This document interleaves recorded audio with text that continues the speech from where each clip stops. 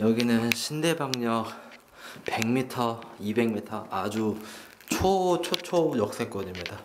어, 건물 연식은 좀 오래됐고요. 오래된 다가구 집이고 어, 지상층이고 음, 전세로 나왔습니다. 원래 전세 1억 5천으로 처음에 나왔었는데 지금 사모님 돈이 좀 급하시다고 어, 1억 3천까지도 해주신다고 합니다.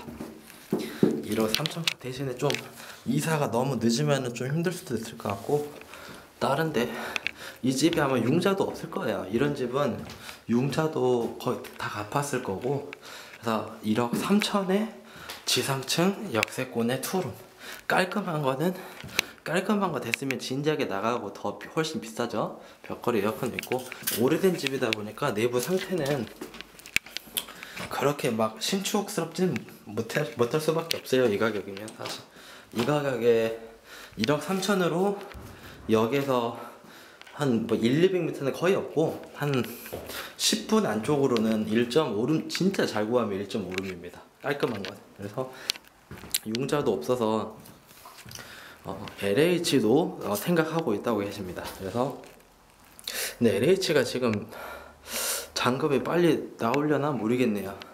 오늘 방의 전체적인 크기는 이쪽도 남향이에요. 차항도 엄청 큽니다.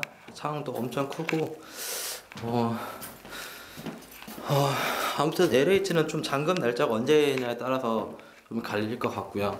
음, 일반 전세도 대출 가능하고 1억 3천에 어, 투룸이었습니다. 옵션은 가스레인지랑 아까 벽걸이 에어컨 정도 그 정도 있는 것 같네요. 그리고 화장실은 아까 봤지만 좀 연식 오래됐고 그래도 1억 3천이면 괜찮습니다.